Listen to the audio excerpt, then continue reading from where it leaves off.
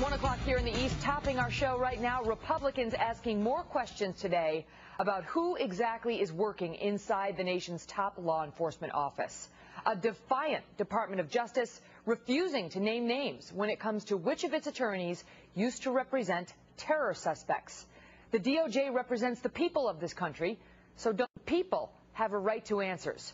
That's where we begin this hour. Welcome to America Live. I'm Megyn Kelly.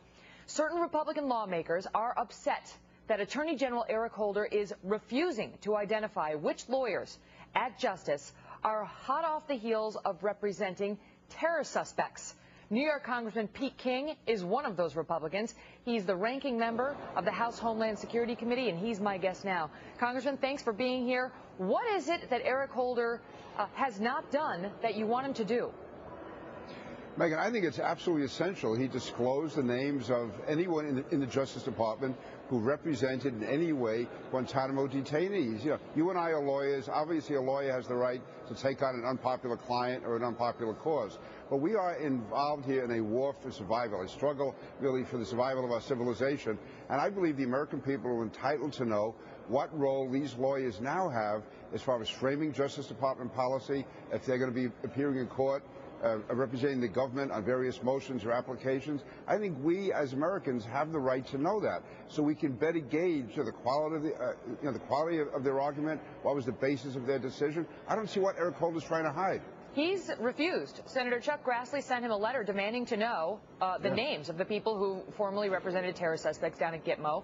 And he wanted some more information, and he basically got the back of the hand and sent back an angry letter saying, this is really unacceptable. Uh, it, it, the Department of Justice is supposed to be representing the people of the United States. Do we, Absolutely. the people, have the right to that information, Congressman, or is it up to Eric Holder to decide what gets disclosed?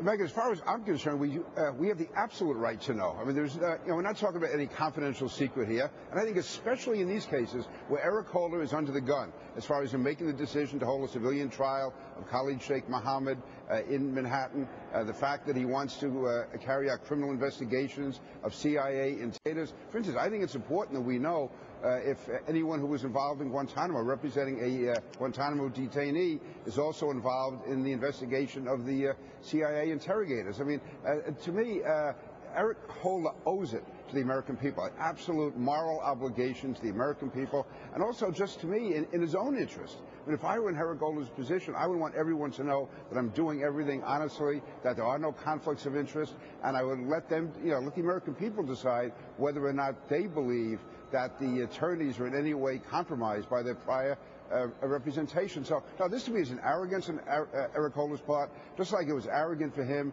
to put the KSM trial in Lower Manhattan without even speaking to anyone in the New York City Police Department or the New York City administration or anybody at all involving security. What do, what do you say to those who say this this looks like a political stunt? Because lawyers, as you point out, you and I are both lawyers.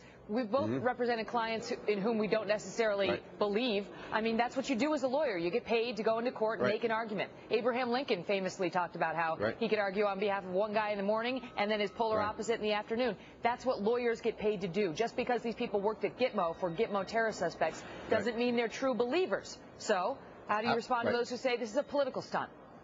No, I, I, don't object to the fact that they represented Guantanamo detainees, even though you do wonder why people decide to put their time in to certain causes. Now, I'm saying now that they are on the other side, and we are talking about such vital issues of life and death, I think the American people are entitled to know who represented Gu uh, Guantanamo detainees then and now. Uh, and to me, this removes any type of doubt, and it also would let us decide whether or not this colors their opinion, whether or not they are still influenced by, uh, by the reputation of uh, Guantanamo detainees. Certainly, for instance, if they're going after a CIA interrogator, and it turns out they had also represented someone who was a Guantanamo detainee, that would raise questions of judgment. I think the American people are entitled to make that decision. Eric Holder may decide the person is still qualified, fine but that should be out on the table so there's no secrets, there's no conspiracy theories, there's nothing at all. And to me, that's not politics. That's honest, open government, the type of government that Barack Obama said he was going to bring to the United States. Uh, well, uh, one wonders whether that list will be forthcoming from the Department of Justice. So far, uh, not so much. Congressman Pete King, thanks so much for being here. Megyn, thank you.